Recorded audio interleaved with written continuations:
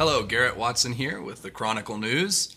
Today, we were fortunate enough to snag an interview with ArtSpace Property Development Director and the team lead for Space to Create, Andrew Michelson.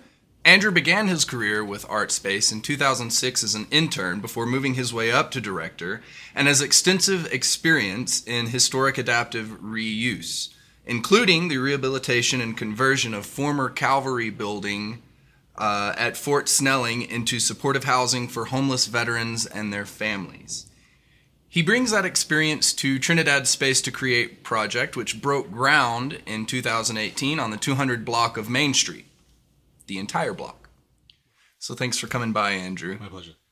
So you've been kind of key in the development of several art space type projects around the country from mm-hmm. Minnesota, where you're from, to Chicago and now the Space to Create project here in Colorado, uh, Trinidad specifically. Mm-hmm. Trinidad is actually a uh, demonstration project yep. for Space to Create. Can you kind of tell us what you're hoping that this will demonstrate for the project?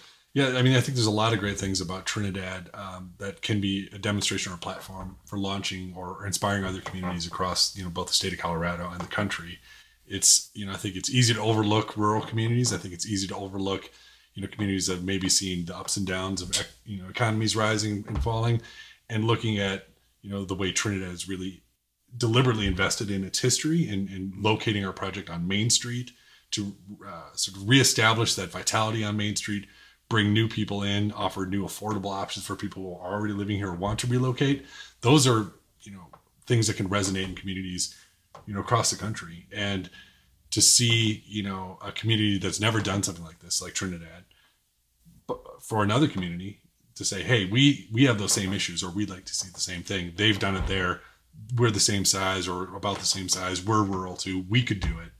And I mean, that's the sort of thing I really want to see. But I mean, specific to Trinidad, I, am really, you know, itching to see, you know, the, it's under construction. Let's see what actually starts happening once it's complete, once our residents there, once our businesses are starting, and you know, two three years from now, seeing what actually has come. That's that's really the exciting thing is to know there's that opportunity, but really to see it to come to fruition.